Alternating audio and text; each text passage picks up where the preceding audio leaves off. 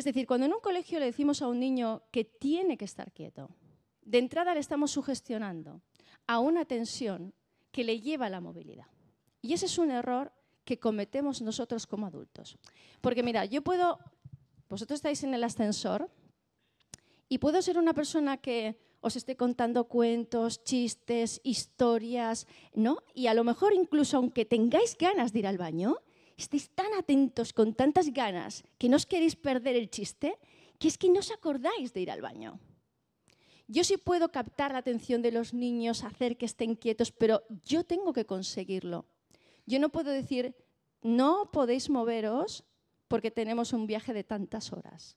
Así lo único que yo genero es justamente lo inverso.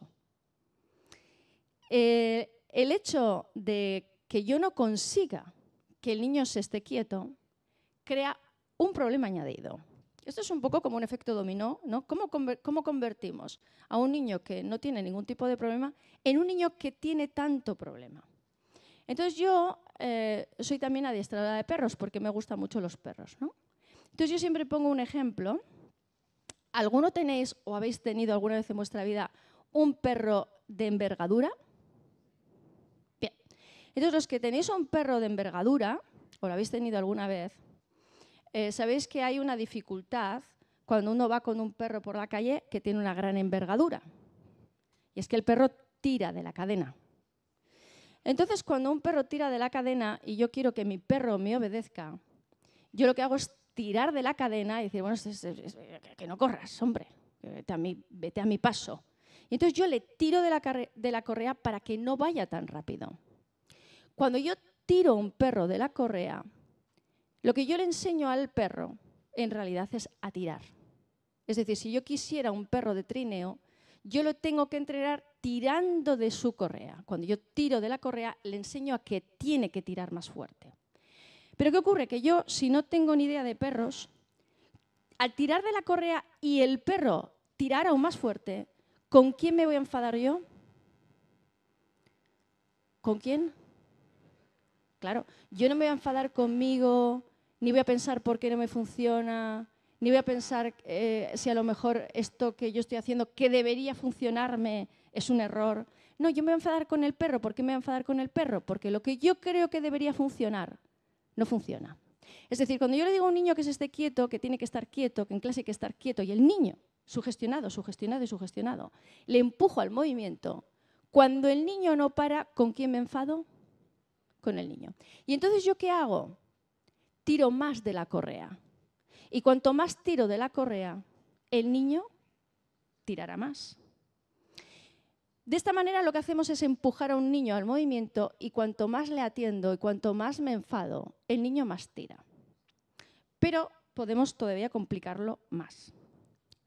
¿Por qué lo vamos a complicar más? Porque el niño lo que más necesita en el mundo, ¿qué es? Lo que más necesita un niño en el mundo, aparte de que le dejen tranquilo, ¿no?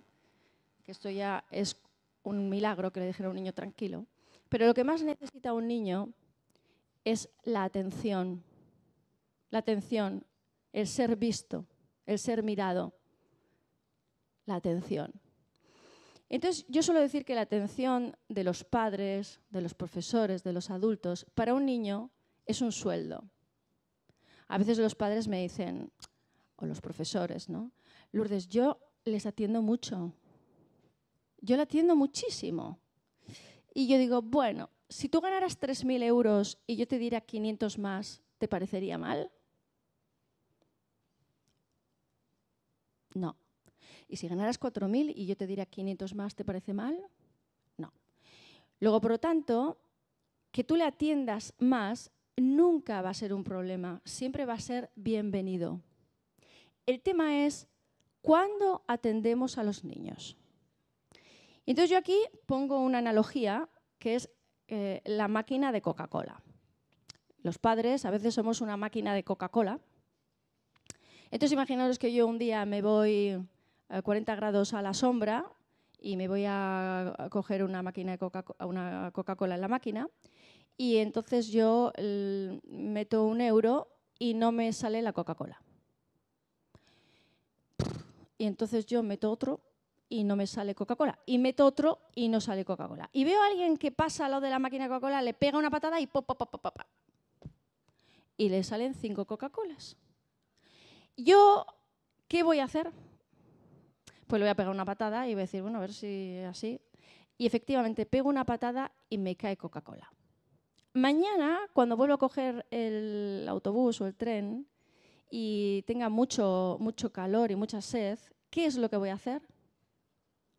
Pegar una patada. Entonces, mirad, hay veces que los niños están en clase o están en casa, están comiendo y están sentados.